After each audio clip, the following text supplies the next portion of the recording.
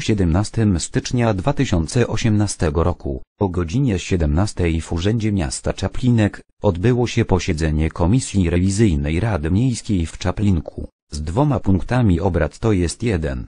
Rozpatrzenie skargi. 2. Sprawy bieżące. Komisja rewizyjna była reprezentowana przez przewodniczącego Maciej Bernat oraz członków komisji, Michał Olejniczak, Brygida Zabrocka, Małgorzata Głowa oraz Marcin Czerniawski. Stowarzyszenie Ludzi Nieobojętnych Lobelia w dniu 8 stycznia 2018 roku skierowała do Rady Miasta w Czaplinku skargę na burmistrza Czaplinka. Otrzymali ją również do wiadomości Rzecznik Praw Obywatelskich Adam Bodnar oraz wojewoda zachodniopomorski. Zostałem zaproszony przez Lobelię w celu zarejestrowania tego niecodziennego posiedzenia komisji rewizyjnej, co też uczyniłem. Zarejestrowałem całe posiedzenie, które trwało około półtorej godziny. W tym miejscu chciałbym przeprosić wszystkich oglądających za nie najlepszą jakość materiału filmowego, wynikłego z powodu mojego złego ustawienia parametrów aparatu. Ze względu na obszerność tego materiału, zaprezentuję Państwu tylko fragmenty wystąpień przedstawicieli Lobeli oraz ustosunkowanie się burmistrza Adama Kośmider do skargi. Treść skargi bez uzasadnienia była następująca. Działając w imieniu Stowarzyszenia Ludzi Nieobojętnych Lobelia z siedzibą w miejscowości Psiegłowy, gmina Czaplinek, zwanego dalej stowarzyszeniem, składamy skargę na burmistrza Czaplinka Adama Kośmider. Burmistrzowi zarzucamy w szczególności 1. Wprowadzanie w błąd mieszkańców miasta i gminy Czaplinek, m.in. w zakresie budowy megafermy. 2. Pomawianie Stowarzyszenia Ludzi Nieobojętnych Lobelia i jego członków. 3. Naruszanie dobrego imienia Stowarzyszenia i jego członków oraz wpływanie negatywnie na wizerunek Stowarzyszenia. 4. Podważanie zaufania mieszkańców do Stowarzyszenia i jego członków. 5.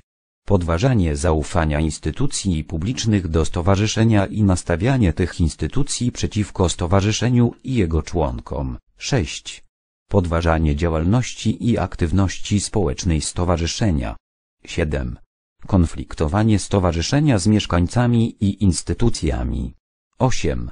Brak współpracy burmistrza jako organu wykonawczego gminy Czaplinek ze stowarzyszeniem jako organizacją pozarządową, a w konsekwencji naruszanie przepisów ustawy z dnia 24 kwietnia 2003 roku o działalności pożytku publicznego i o wolontariacie. Dziennik Ustaw.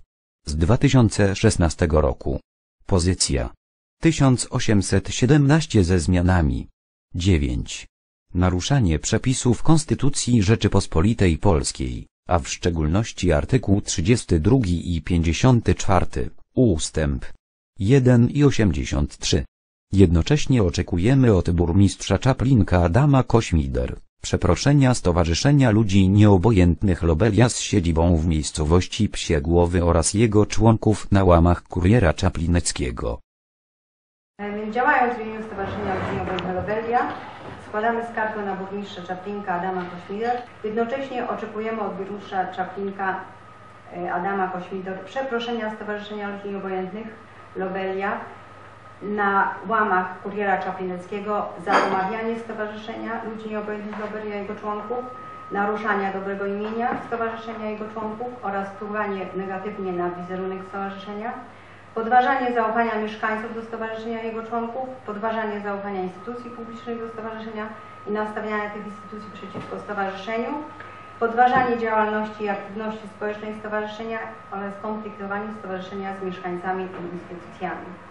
Prosimy również o zaprzestanie działań wymienionych w punktach od 1 do 7 i zaprzestania naruszania przepisów prawa, a w szczególności przepisów ustawy z dnia 24 kwietnia 2003 roku o działalności pożytku publicznego i o wolontariacie. Że jest takie, następuje zniechęcenie stowarzyszenia oraz jego członków do dalszych działań. E, chcielibyśmy, żeby wziął to burmistrz mocno pod uwagę i żeby, że ja nie wiem, trudno mi jest przemówić do sumienia, serca, czy, ale mam nadzieję, że może do rozsądku chociaż, że jeżeli, e, że powinno się działania, które są korzystne dla, dla ludzi, czy dla środowiska, podtrzymywać, popierać. była podnoszona kwestia y, z, z naszego środowiska o szkodliwości i wówczas na spotkaniach wyborczych pan y, burmistrz we wsi Pławno był przeze mnie osobiście pytany y, o y, stosunek jego y, do wiatraków, do szkodliwości i, jak będzie ukierunkowywał gminę w tym względzie. No i otrzymałem informację, że pan burmistrz nie jest zwolennikiem wiatraków. Takie stowarzyszenie jak nasze. Przecież my, jest, my działamy non-profit, prawda? Nie jesteśmy stowarzyszeniem zarobkowym. Yy, Chcemy pomóc y, również panu burmistrzowi, żebyście, żebyście państwo jako radni wzięli to pod uwagę, że my raczej jesteśmy pomocą dla was, a nie wrogiem. I chcielibyśmy, żeby pan burmistrz nareszcie to zrozumiał. Więc chciałabym e, przy tej okazji zobaczyć, dowiedzieć się, e, jak się skończy ta historia, bo jest to też dla mnie lekcja, e, czy siedzieć cicho i niewiele robić, czy też po prostu z, rozwijać się bez obaw, że nas tutaj spotka to czy tam. Myślę, że należy y, wyjaśnić pewne kwestie i po to się tutaj spotkaliśmy. Akurat nie jestem członkiem stowarzyszenia, ale na bieżąco e, zorientowana, co się dzieje akurat w przypadku megafermy, ale przeprowadziłam taki eksperyment, jak, e, jak, procent, jak opiniotwórcze były pana, e, pana artykuły na temat, na temat e, sprawy, e, jeden z artykułów właśnie na temat działań Nobeli, a propos tego.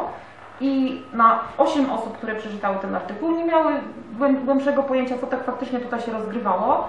Stwierdziło, że no, banda zielonych oszołomów znowu nie wie, co robi. Sugerując się tym, co Pan napisał. Wielu ludzi tutaj przyjechało te rejony Polski, osiedlić się tutaj, za, zainwestowali swoje majątki, y, robiąc, pracują, tworzą tutaj to, to środowisko i, i my tego pilnujemy, żeby, żeby, żeby te, te nasze marzenia się, się spełniały. Nie ma działań zwalczania władzy. to, co tutaj y, słyszymy z dotychczasowych wypowiedzi, to, to nie jest dyskusja nad problematyką, ogólnie mówiąc, y, zniesławiania czy złych stosunków ze Stowarzyszeniem Lobelia, że tutaj już widzimy w jakim celu stowarzyszenie powstało ja o tym mówiłem. Y, Jeżeli chodzi o moje wypowiedzi, prawda, w szczególności artykuły y, w Kurierze Czaplineckim, Trzeba je czytać po prostu ze zrozumieniem. Nie wiem, czy pani się śmieje, czy uśmiecha, ale to teraz nie wiem, na temat własnej, powiedzmy, głupoty, czy też tego, co ja mówię. Robić sobie tutaj cyrk z tego, bo to jest, poważne, to jest poważna komisja, chce się pani zachowywać poważnie. Trzeba czytać to, co pisze, ze zrozumieniem.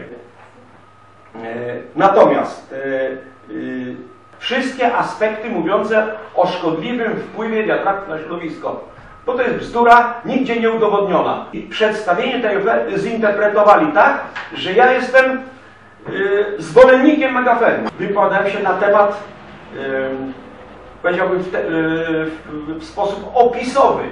Ja nie zajmowałem wtedy stanowiska, czy jestem za wiatrakami, czy przeciwko wiatrakom. I to jest, i to jest wszystko na ten temat. Dobra, inaczej. Może zmieniać. Przyznaje się pan do winy, panie burmistrzu, czy? W żaden sposób, panie przewodniczący. Te pseudo-zarzuty, które są y, tutaj sformułowane w skardze, są podejmowane z kontekstu. W moich dotychczasowych artykułach sprzed lat i, i w tych najnowszych nie zmieniłbym ani słowa. Mogę tylko powiedzieć, że pisałem zawsze prawdę, tylko prawdę i tego się będę, będę się dalej trzymał.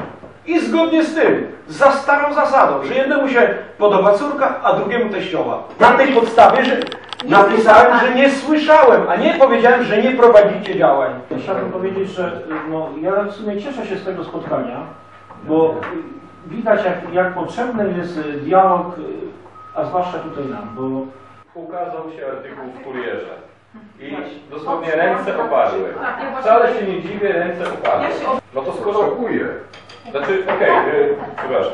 No to nie skoro, wnioskuję o środki. no. skoro, że tak powiem, y, nie macie jakby wspólnych działań, nie, nie, nie prowadzicie ich wspólnie, no bo oni sobie radzą, burmistrz tutaj zarządza gminą i tak dalej, y, no to de, de facto na jakiej podstawie, skoro razem nie współpracujecie, pan ich ocenia?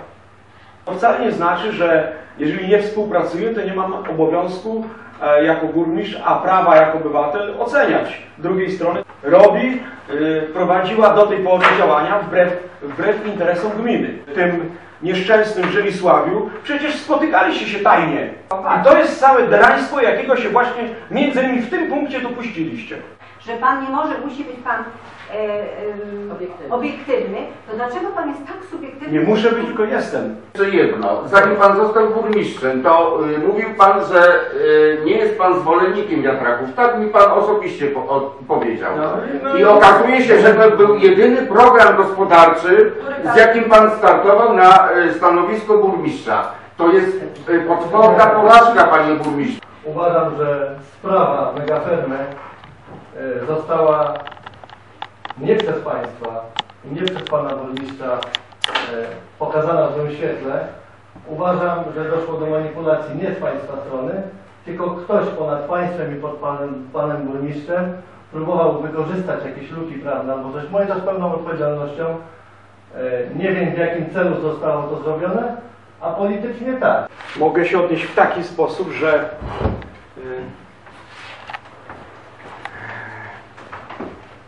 przeprosiny z przeprosinami mamy do czynienia wtedy, jeżeli rzeczywiście ktoś poczuwa się do winy lub udowodniono, czy też stwierdzono jakąś, jakąś winę. Y, Ja natomiast nie poczuwam się tu w żadnym calu do jakiejkolwiek winy. Ja mam prawo do formułowania własnych ocen i oceny działań innych, w tym również Stowarzyszenia Robelia. I, I nie sądzę, żebym w jakimkolwiek punkcie yy, pomówił stowarzyszenie, naraził na szwank dobre imię, yy, czy, czy, czy okłamał opinię, opinię publiczną. Wyjście, wyjście mogę tylko, tylko jedno zaproponować, że jeżeli Lobelia przeprosi mnie, to ja przeproszę Lobelię. Za mielibyśmy to wszystko. I jeżeli pan uważa, że absolutnie nie ma nic sobie do zarzucenia, to rzeczywiście nie ma tutaj dyskusji. Też również zapytałam, za co pan burmistrz chciałby, żebyśmy my pana przeprosili? To y, za co pan burmistrz oczekiwałby tych przeprosin, ale tak właśnie konkretnie. Ogólnie za zrobienie burmistrza wrogiem publicznym numer jeden w kwestii megafermy. Panie Burmistrzu, tutaj kieruję te słowa do Pana, że może jednak Pan będzie tym pierwszy, który jednak... Szkody, szkody wyrządzone przez e, Lobelię na wizerunku burmistrza e, e, są tak ewidentne i zasadnicze, że kwestia tutaj przeprosin czy, czy pokuty niczego nie zmieni. Jeżeli ja zgłoszę gotowość przeprosin, to znaczy, że przyznam się do tego, cokolwiek napisałem i powiedziałem na temat i megafermy i, i Lobeli jest nieprawdą. A tak nie jest, bo ja nie mogę z siebie robić idioty. Nie mam w gminie stowarzyszenia, a nawet na kuli ziemskiej, z którym miałbym tak fatalne stosunki na dzień dzisiejszy jak z wami. Więc, To- drogi panie, jeżeli że ocena jest nierzetelna i krzywdząca, to, To proszę, się, proszę iść do sądu w takim razie. Mogliście Państwo posłuchać i zobaczyć mistrza manipulacji, burmistrza Adama Kośmider. Jak pisał redaktor Bednarek 9 grudnia 2016 roku, burmistrz jest jak król, cała reszta to szkodniki. Wysmagał swoim ostrym językiem, Stowarzyszenie Lobelia, które ośmieliło się napisać skargę na króla Kośmidra. Według burmistrza, to Lobelia wymyśliła budowę megafery, to Lobelia nie dba o finanse miasta. Pan burmistrz robi mieszkańcom Czaplinka wodę z mózgu. Zapomniał biedak, że przyjęty na 2018 rok budżet wygląda tak, że na 47 milionów planowanych dochodów, prawie 26 milionów to jest dług miasta i gminy Czaplinek. Takiego mądrego zarządcę wybraliśmy sobie na burmistrza. Ponownie cytując redaktora Bednarka, który podsumowuje burmistrza tak. Państwo to ja. Kto występuje przeciwko mnie, występuje przeciwko monarchii i jest zdrajcą. Po odbytym spotkaniu, komisja rewizyjna przeprowadziła głosowanie. Na pięciu radnych, trzech radnych zeznało rację Stowarzyszeniu Lobelia, a dwóch pozostałych radnych wstrzymało się od głosu.